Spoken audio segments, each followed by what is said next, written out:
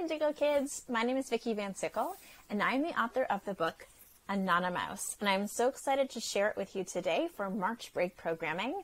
This is a book about street art, and street art can include murals, installations. I think it can include things like signs or little fun things that people put in their neighborhood.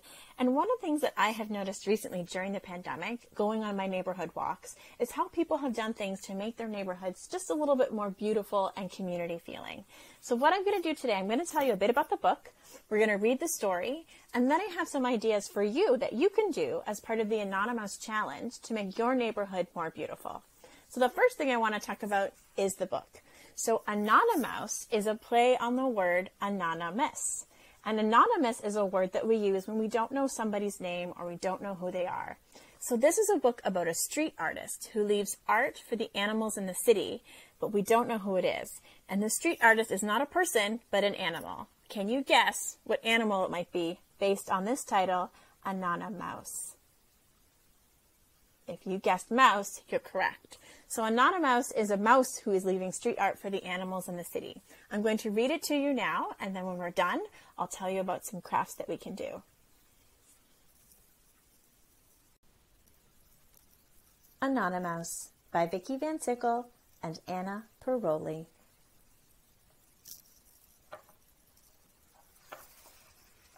As I read the story, you want to make sure you're looking out for any sign of pink paint.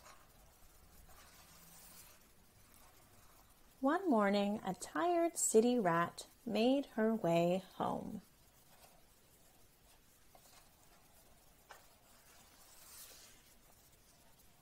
But when she got there, she found it had been transformed.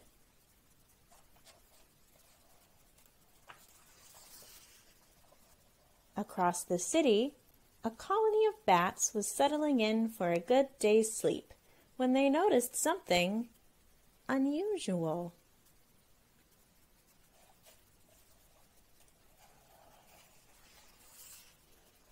Very unusual. There is no explanation, only a name Anonymouse. Suddenly, Anonymouse's art was everywhere.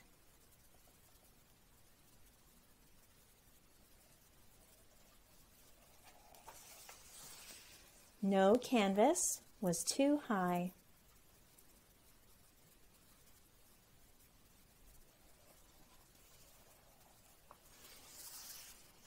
Or too low.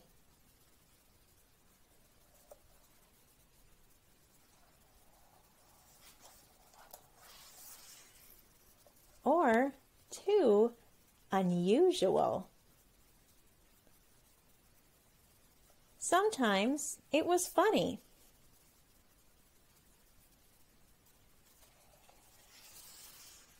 Sometimes it was serious, but it always made the animals of the city think.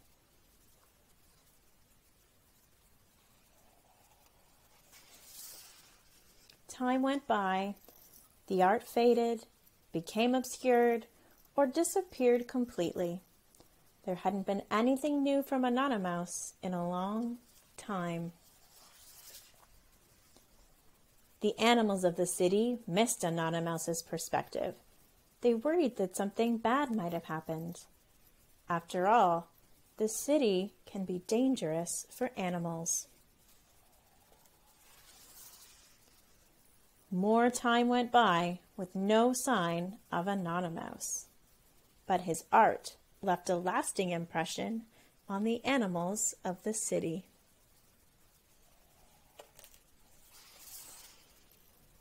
Thanks to Anonymouse, they looked at the city in a whole new way.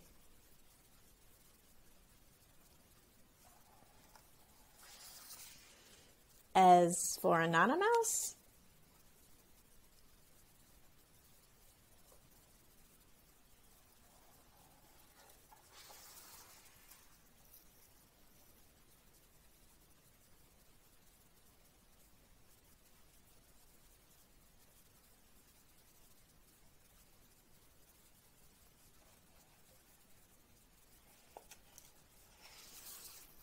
The world is his canvas.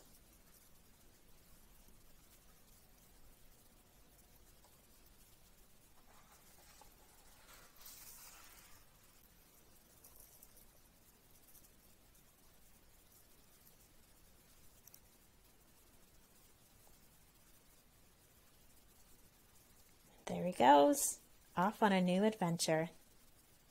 The end.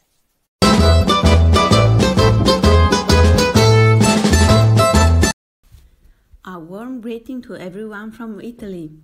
My name is Anna Pirolli, and I am the illustrator of Anonymouse, the wonderful book written by Vikki VanSickle. I'm really happy to be here with you to talk about my work and how Anonymouse was born. I live and work in a small district of Milan called Isola. My desk is right behind a large bookcase where I keep lots of illustrated books, my greatest treasure. Most of these I bought in the two bookstores I have near the house, small but very full of masterpieces. I really love them, but I have given myself a rule to enter once a week at the most. Otherwise, I spend everything I earn on books.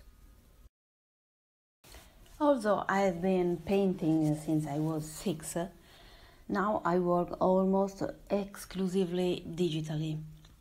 I make the drawings directly on the Cintiq tablet, sometimes making sketches but more often through a procedure that resembles that of the sculpture by subtraction. I draw a big splash of color and remove everything around it until I get to the shape I have in mind. Then I rotate and combine the various parts that make up a character to create something unusual something that uh, surprises me.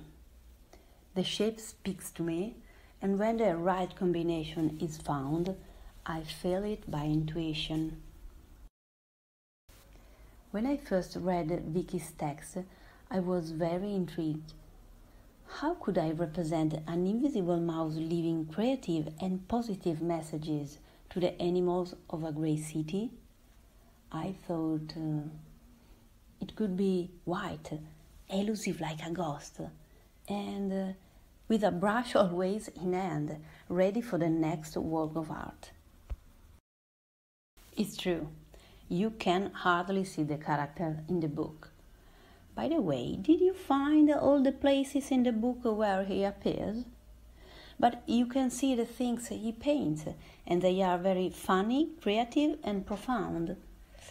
I wanted Anonymouse to be just as likable and astute as his works. The only feature that differentiates it from other animals is the use of a colored scarf that makes it a little more human, perhaps a little more aware. Right from the start, I imagined two very distinct worlds that of the city in sepia color to underline a smoky, monotonous, and homogeneous environment, and that of Anonymouse's works in bright pink, a deliberately strong and incisive sign to break the rules and the standards of the city reality. Because uh, basically, this is what graffiti artists do they try to get noticed and tell things out of ordinary life, to light a fuse, a, a new thought, a possibility to explore. Just like art does, isn't it? It was very nice to imagine what uh, city animals think, how they feel, and uh, what interests they have, what can attract their attention, and what can make them live uh, better. It's a useful exercise to shift attention from the habits of one's life. Then I let the fun conduct my work. I wanted each spread to be joyful and full of curious detail to discover little by little. Many ideas were given to me by Vikki and the Tundra team, with whom I found myself in full harmony. You see illustrations and read a text, but behind a book there are many invisible people to make sure that everything works. Without them, the book literally would not exist.